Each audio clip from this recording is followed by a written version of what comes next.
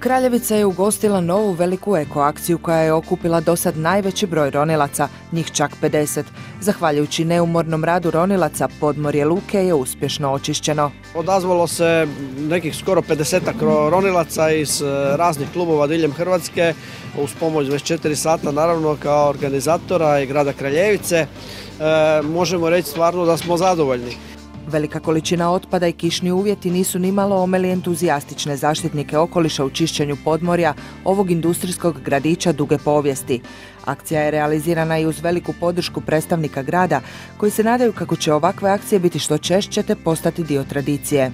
Vjerujem da evo i ova akcija će potaknuti neke da razmisle da se malo drugačije prema prostoru, odnosno da se kvalitetnije prema prostoru i okolišu treba odnositi. Osim ronilaca koji su se u velikom broju odazvali eko akciji, važan dio posla obavili su i brojni volonteri koji su s obale pomagali podvodnim timovima u čišćenju. Uključili smo se koliko smo mogli, angažirali ljude i sve i ronilački klub, znači tu iz Kraljevice se isto povezao s tim, tako da vidimo da napreduje sve i svi mjesni odbori su biti zajedno tako da se pomaže kad god je nekakva akcija nije.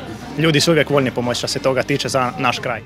Pa mi se uvijek preporučamo da nas se pozove jer se uvijek i odazovemo. Evo danas možemo s ponosom reći da su i kolege iz Siska s nama, iz naše rafinerije, tako da nam je to isto bilo drago da su i oni kontinentalci koji inače samo ljeti dođu došli pri pomoć ovoj akciji. Tako da definitivno ćemo se odazvati. Koliko su akcije čišćenja podmorja važne govori i podatak kako se u Mediteran svakodnevno baca čak 400 tona otpada. Akcija u Kraljevici stoga je pokušaj da se taj negativni trend barem djelomično zaustavi. Ima toga smeća dosta puno, ovdje se voda ovdje vežu, pa neko je nekulturan, neodgovoran, pa bacao more, a more nam je život, to se znate šta je. Ribari i mi svi skupa ne pridržavamo se tih stvari koji bi trebali. Ne? Zahvaljujući odličnim reakcijama i odazivu, vodstvo grada Kraljevice najavilo je i nove ekološke akcije čišćenja podmorja, pri čemu ih podržavaju i lokalni ronilački klubovi. Mislim da je jako važno da e, naš e, stav prema okolišu, naš, e, naše ponašanje okolišu bude pozitivno na način da o njemu brinemo. Zdrav okoliš, čist okoliš je okoliš u kojem čovjek može zdravo i dobro živjeti. Poručujem ljudima znači da manje bacu biti ne bacu smeće znači u more, da bude čišće i bit će manje akcija.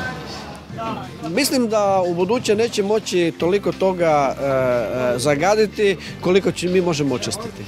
Po završetku uspješne ekološke akcije, volonteri su imali priliku predahnuti u konobi Fran Krsto Frankopan, gdje su mogli izmijeniti iskustva te napraviti planove za jednu od budućih akcija čišćenja.